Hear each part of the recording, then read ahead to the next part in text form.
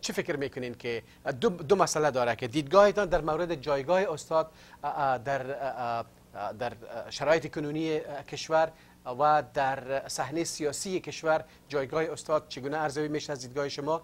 و دیگه ای که دشمنای استاد و دشمنای صلح چقدر شما می‌تونین که به اصطلاح بگونه ای که اینا سزاوارشان هستن معرفی بکنین که اینا کی هستن و چقدر اینا پیوندی با اسلام دارن بله. سوال بسیار خوب من حضور عرض احترام و ادب حضور همه بینندگان برنامه رسالت و ما هم تسلیت عرض می‌کنم حضور همه کسانی که قلبشان به خاطر این کشور و به خاطر این ملت جنگ دیده و مظلوم و به خاطر آرام آرامش و عدالت و استقرار کشور میتفد حضور همه ایشان تسلیت عرض می‌کنم. شهادت جانگداز استاد برهان الدین ربانی را.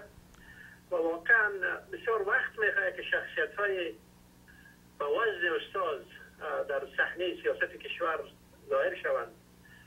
سالها باید که تا یک سنگ خاره از آفتاب در بدخشان لعل گردد یا حقیقت در یمن.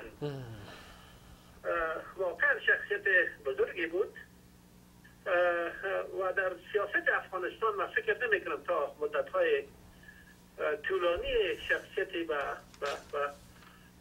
بزرگی استاد هر اندام کنه. به هر حال جناب استاد خصوصیت هایی داشت. یکی از خصوصیت هایی که در وجود استاد برهان الدین ربانی بود بود که شخصیت نهایت حلیم بود. که دوست دشمن به این اعتراف می‌کنه. شخصیتی بود که هیچ گاهی دشمن خود دشنام نداد. هیچ گاهی تهمت نبست به هیچ دشمنی. برچسب ناچست و دشمنایش کوله میکشیدن در زمان زندگیش از امریکا تا افغانستان. و از شرق و غرب دنیا در داخل کشور. تا هنوز هم قوله می‌کشن از پشت بلندگوهای تلویزیون ها اما تا آخر زندگیش هیچ خبرم نبود که در دنیا اینها وجود دارند یا ندارند.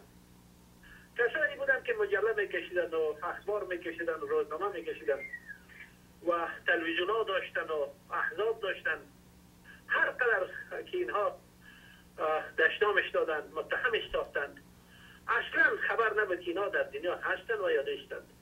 شخصیت بزرگی بود و هیچ وقتی کینه به دل نمی گرفت و بسیار سعی صدر داشت و کسایی که دشنامش هم می‌دادن چیز نمی گفت و فهم بسیار عمیق و فهم بسیار درست و فهم بسیار معتدل از دین داشت و یک گرهگاهی بود که همه رشته های نسیج وحدت ملی افغانستان در او جمع شده بودند.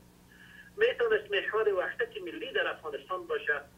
اما قسمی که در بدخشان و در مزار محبوبیت داشت در قندهار و در فکتیا هم به اون اندازه محبوبیت داشت. و واقعا یک سنگ تهداب سیاست معاصر کشور بود. واقعا در رابطه با شخصیتش هر قدر صحبت کنید کم است. اما پیغمبر نبود معصوم نبود. با ما به درجه عصمت هیچ کس بالا نمی‌بریم. هر کسی اشتباهاتی داشت و اشتباهاتی می‌کرد. و خودش اشتباهاتش که برش می‌گفتی و وقتی که انتقاد می‌کردی تو نبود که برنجه قبول می‌کرد و حزبی را که اساس گذاشته بود حزبش به شکل از یه احزاب بسیار تندرو کمونیستی و یا رادیکال اسلامی او رقم نبود بلکه شباهتی به یک جبهه داشت که قطبهای مختلفی در داخلش بود و هر کس به آزادی اظهار بیان می‌کرد.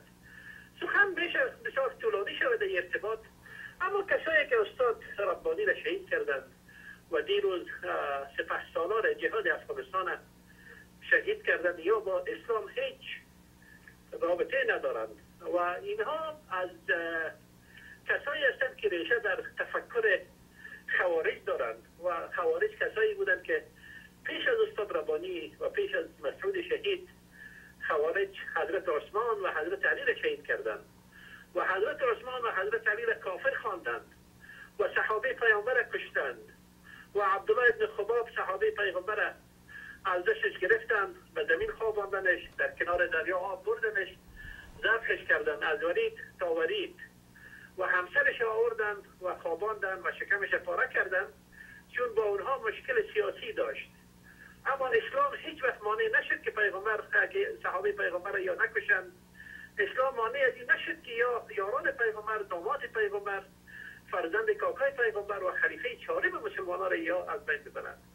این نحله خوارج است. اینا با اسلام هیچ رابطه ندارند اما یک مسئله هست چیست آقای انصاری که امی خوارج خو یک یک بهانه داشتن که خب به خاطر ختم جنگ بین مسلمان ها ما صحابه می‌کشیم. یعنی یک یک یک توجیه اگرچه ناپذیرفتنی که قابل پذیرش نیست. اما در آغاز همونطور یک گپ بوده. از از کسایی که امروز در علیه علیه علیه مملکت ما می جنگن یا یا ما فکر می‌کنم این بهانه را ندارن. در این مورد نظر شما چیست؟ گپ شما بسیار وجیه است واقعا این یکی بهانه که شما گفتین این بهانه از اونا بود و اینا این بهانه را هم ندارن. بهانه دیگه مسئله دیگه که تفاوتی در بین از است که اونها مستقل بودن مستقل به ذات بودن. خوارج مستقل بودن. بله.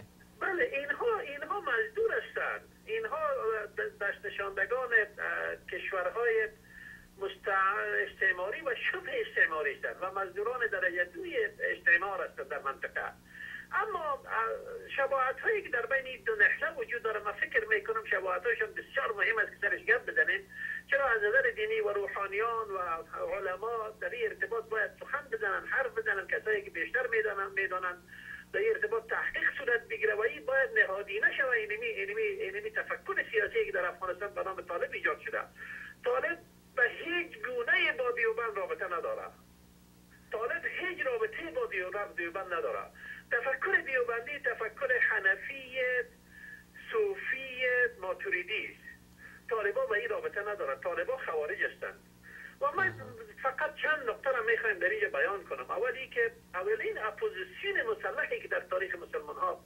ایجاد شده اپوزیسیون است که می‌گفت لا حکم الا لله. یعنی حکومت و آثوریتی به از خدا از کسی دیگه نیست. اینا گویا این که می‌خواستن که علی نباشه و آسمان نباشه و خدا در روی زمین پایین شود به شکل یک انسان در بیاید و بگه که من حکم تطبیق کنم و اینا یعنی یک بهانه بود برای, برای, برای کارایشان.